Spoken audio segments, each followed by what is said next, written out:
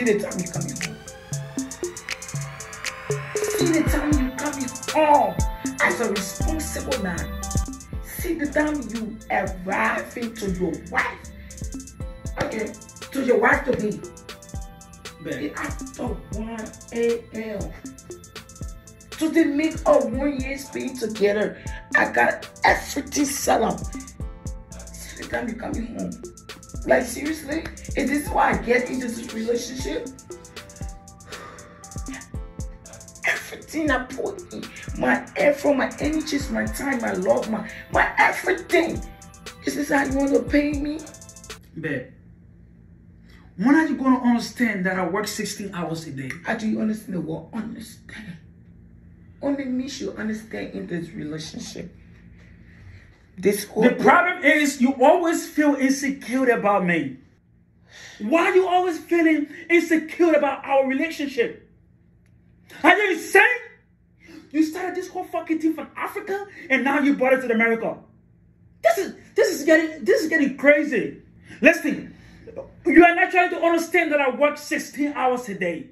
and so So you have to understand that I came from work. God heaven's sake.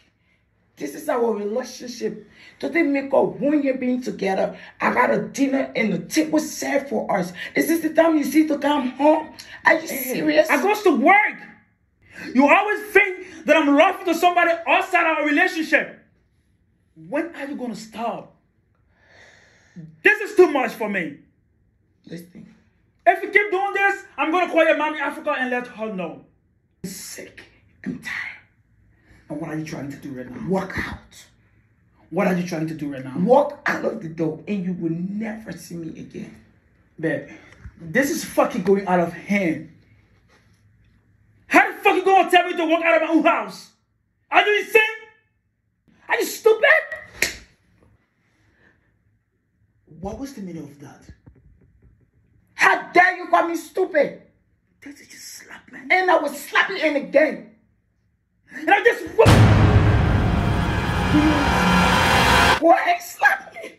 Slap me. That's the best thing you can do. Slap me. Slap me. You can't be doing this. Slap me. Come on, babe. You can't be doing this. Slap